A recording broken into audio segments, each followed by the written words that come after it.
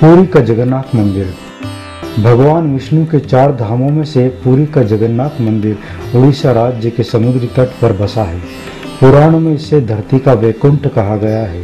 इसे श्री क्षेत्र पुरुषोत्तम क्षेत्र शाप क्षेत्र, नीलांचल, नीलगिरी भी कहते हैं। इस मंदिर का सबसे पहला प्रमाण महाभारत के वन पर्वों में मिलता है। मान्यता अनुसार सबसे पहले साबर आदिवासी विश्व वसु ने नील माधव के रूप में उनकी पूजा की थी।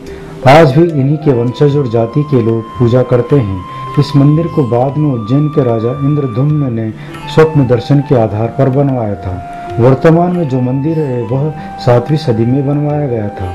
इसके बाद ग्यारह ईस्वी में उड़ीसा शासक अनंग भीमदेव ने इसका जीर्णोद्धार करवाया था। यहाँ श्री कृष्ण को जगन्नाथ कहते हैं। जगन्नाथ के साथ उनके भाई बलभद्र और बहन सुभद्रा विराजमान है। तीनों की ये मूर्तियाँ काष्ठ की बनी हुई है। प्रत्येक बारह साल में एक बार प्रतिमा का नौ कलेवर किया जाता है। कहा जाता है कि इन मूर्तियों की पूजा नहीं होती, केवल दर्शनार्थ रखी गई है। इस मंदिर से कई तरह के चमत्कार और रहस्य जुड़े हुए हैं। कहते हैं कि इसके शिखर पर लगा हुआ ध्वज हवा की विपरीत दिशा में लहराता है, जिस पर शिव का अर्धचंद्र बना हुआ है।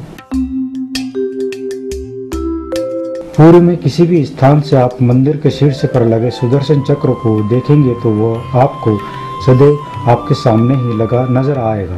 चार लाख वर्ग फुट में फैला और लगभग 214 फुट ऊँचा ये दुनिया का सबसे भव्य मंदिर है।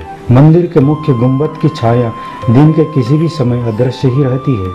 पक्षी या विमानों को मंदिर के ऊपर उड़ते हुए कभी नहीं देखा गया। सामान्य दिनों के समय हवा समुद्र से ज़मीन की तरफ़ आती है और शाम के दौरान इसके विपरीत, लेकिन पूरी में इसका उल्टा होता है।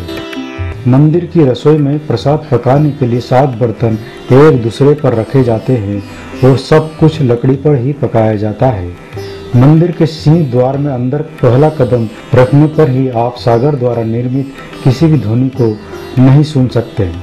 मंदिर के बाहर एक ही कदम रखते ही सागर को सुन सकते हैं। इसे शाम को स्पष्ट रूप से अनुभव किया जा सकता है।